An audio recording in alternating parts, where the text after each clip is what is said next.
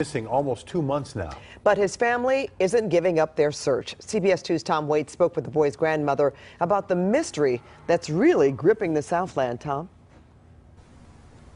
Yeah, Pat and Rick definitely gripping the Southland. This little boy, Aramazd Andressian, has been missing for almost two months. He was supposed to be dropped off to this park to his mother, but that didn't happen, and there are very few clues about what did happen to him.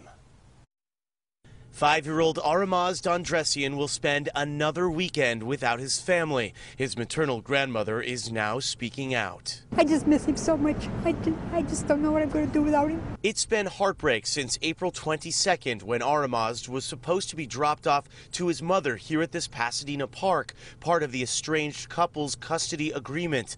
Aramazd Sr. was found in the park unconscious under the influence of prescription drugs, his car soaked in gasoline. He couldn't tell police where his son was, and he was arrested. Police later let him go, but he remains a person of interest. His dad needs to bring him back. You know, everybody that knows where he's at, please just bring him back.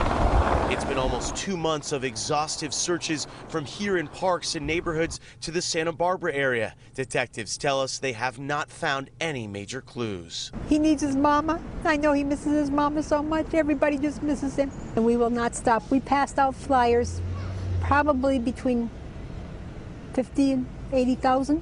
And if he's watching, his grandmother wants him to hear these words. I love you and I miss you. And I want you to come home. There is a $30,000 reward for information that could lead to little Aramazd. Also, the family wants the community to know they are so grateful for all of the support, especially on the GoFundMe page that they've launched. They've raised thousands of dollars there. It remains open. Reporting live in South Pasadena, I'm Tom Wait. Back to you in the studio. All right, thank you.